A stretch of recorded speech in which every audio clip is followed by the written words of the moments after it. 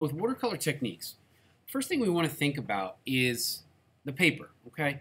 This what we set up is on a, a thinner piece of watercolor paper, all right? But it, you can see when you paint on it, it does have a little bit of a texture, a little bit of a tooth in there. So the stroke, the actual pigment, as you apply it to the surface, is going to look very different on the type of paper that you're using.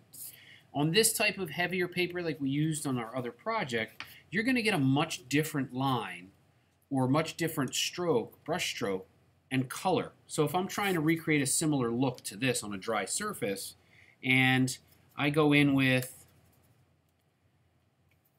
the same technique that I just did to create this wash on a thicker, heavier tooth paper, you're going to see a much different outcome because the thickness, the rigidity of the paper, all right, really allows for the paper to absorb the pigment that much better. It's going to dry a little bit darker, okay?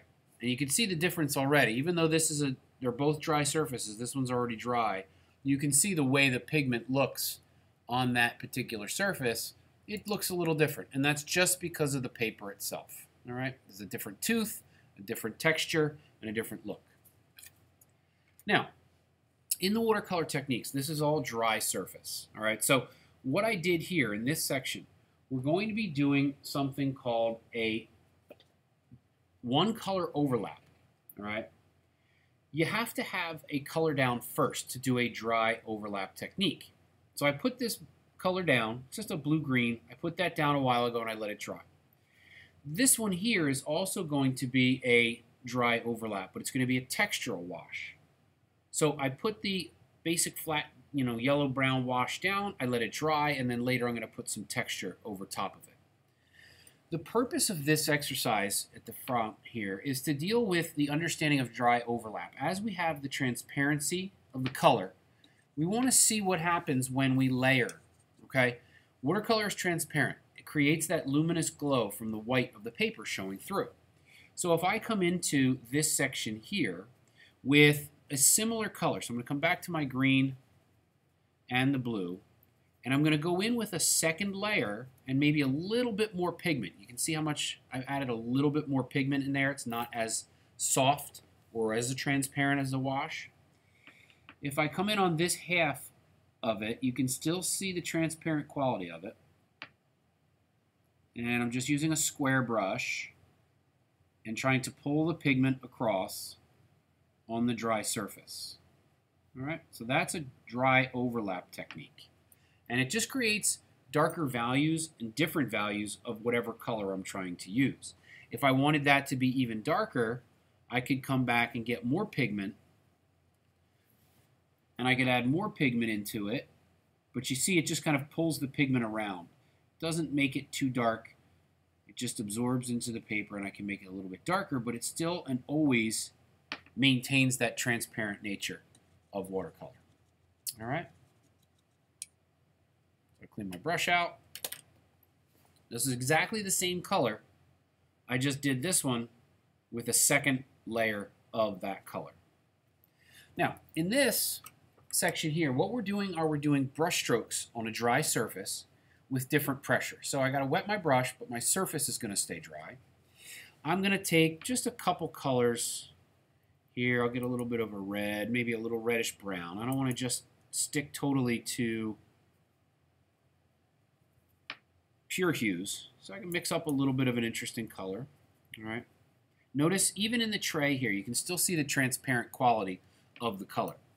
When I start in here, what I'm going to do is I'm going to vary my pressure in my brush stroke. And if I start off really thin and then add pressure, you can see I'm using a round brush. All right, I can create very, very thin brush strokes and medium thickness and I can get much thicker. You'll also notice as I go that the pigment that's in the brush starts to get lighter.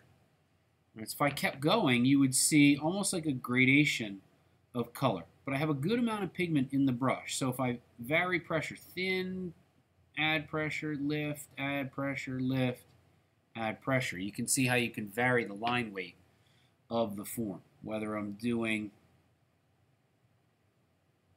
curved lines or straight lines. All right, adding and subtracting brush pressure will give you a different look.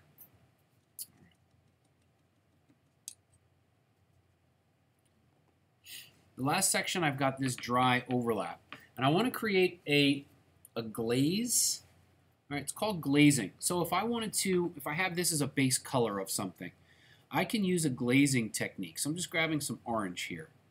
And I'm going into the orange with a good amount of pigment. All right, so I'm getting a good amount of orange on my brush.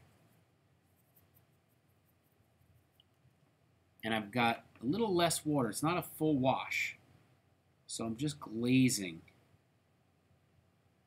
So I can still see some of the color underneath,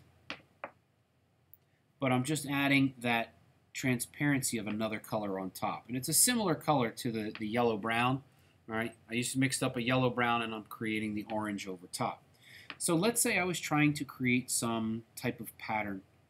All right, I could develop patterns using this technique.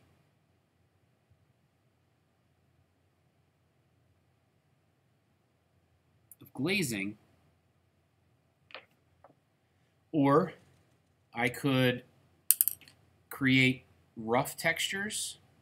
So for example, maybe I'll take a blue and a brown and not a lot of water. And I wanted to kind of create some texture in there just using the brush in different ways.